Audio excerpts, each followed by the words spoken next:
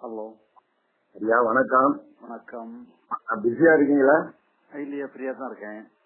சரி. இப்போ நம்ம இது நம்ம இதுல பண்ண அப்படி மனசு ஒரு அமைதியா வருது. சரி. ஆனா அந்த நேரத்துல சில நேரத்துல வயிற்றுல ஒரு கனமா இருக்கிற மாதிரி இருக்கு. சரி. அடுத்தது சில நேரத்துல மார்புல கனமா இருக்கு இருக்கிற மாதிரி தெரியுது. சரி. அப்புறம் கழுத்துல அந்த மாதிரி தெரியுது. சரி. அப்புறம் தலையிலயும் அந்த மாதிரி ஒரு கனம் இருக்கிற மாதிரி தெரியுது. இது எதனால எப்படி இது பண்றது அது உங்களுக்கு ஒரு அமைதி ஏற்படுறதுனால அப்படி ஒரு இது வருது. நீங்க அதை அதை ஒன்றும் அதை ஒரி பண்ணாதுங்க. அதை அதை அதை நீங்க அதை சந்தோஷப்படவும் வேண்டாம் வருத்தப்படவும் வேண்டாம். அது வந்து சிலவங்களுக்கு அப்படி அந்த மாதிரி இந்த சக்தியினுடைய ஏற்றம் அப்படி இருக்கும். சக்தி இன்மையில சக்தி இல்லாதனால. இல்ல சக்தி இல்லாதுன்னு இல்ல. சக்தியினுடைய வைப்ரேஷனால அப்படி அந்த மாதிரி குண்டலினி சக்தின்னு சொல்றாங்க பாத்தீங்களா? ஆமா. அந்த மாதிரி ஒரு சக்தியினுடைய ஏற்றம் அது. சக்தி. கீழ இருந்து மேல ஏறுது அப்படி.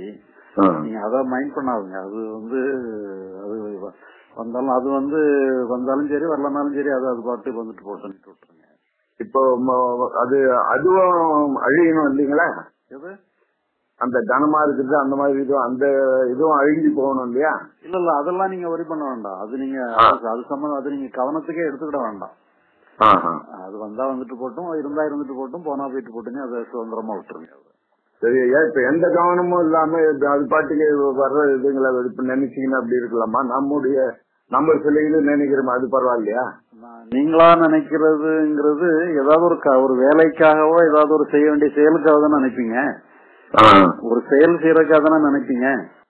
இல்ல பழைய இது நினைவுங்க சிலது வருது அது. நினைவுகள் வந்து சொன்னா உங்களை அறியாம தானே வரும். ஆமா. வந்ததுக்கு பிறகு அதை பிடிச்சுக்கிட்டு அது மேல ஏறி ஆ. நாமாவும் அந்த நினைவை இருக்கக்கூடாது ரோட்ல நின்றுட்டு இருந்தீங்கன்னா நிறைய ஆட்டோவோ காரோ வந்துட்டு தான் போயிட்டே இருக்கும். எல்லாம் ஏறி உட்காந்தீங்கன்னு சொன்னா அது உங்களை எங்கேயோ கொண்டு போயிடும் அது. அதனால அது வர்றதை அப்படி வந்துட்டு அப்படி போட்டுன்னு விட்டுருங்க அவ்வளவுதான். நீங்க எதுலயும் ஏறி உட்காராதுங்க. அது அது போக்குல வந்துட்டு அது போக்குல போட்டுன்னு விட்டுருங்க அவ்வளவுதான். ஏன் வருதானிட்டு எல்லாம் கேட்காதுங்க. வாசல்ல நின்னீங்கன்னா ஆட்டோ நிறைய வரதான் செய்யும். ஆட்டோ எல்லாம் ஏன் வருதானிட்டு நினைக்காதுங்க. வந்த ஆட்டோல ஏறி உட்காந்துறாங்க அவ்வளவுதான். அதாவது நமக்கு அது முக்கியத்துவம் கொடுக்க கூடாது ஆமா ஆமா ஆமா சரிங்க ஐயா.